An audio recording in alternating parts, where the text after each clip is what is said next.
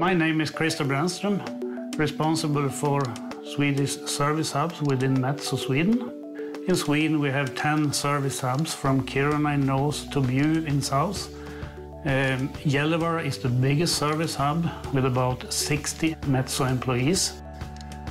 We have always been working with service contracts for the Boliden company. We have a long-term cooperation. It started back in the 30s.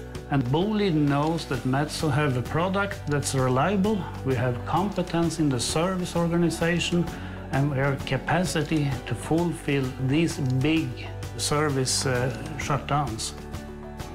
2007 we started a life cycle contract. Life cycle contract means that we take the full responsibility for, for the mills, the operation of the mills. Thanks to that, we know the mills. We know if we can run a little bit longer and take out a little bit more from the mill lining source. 2012, the mills at Aitik, we run them at 95% availability.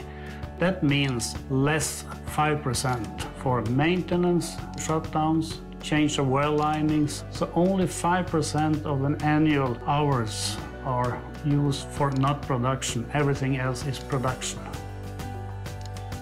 From the beginning, we got, got paid on a cost plus contract.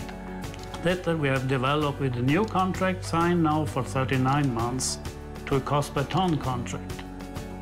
The cost per ton contract means that when the customer gets higher output, Metso and the customer both get higher profit. So that's the new way of doing business.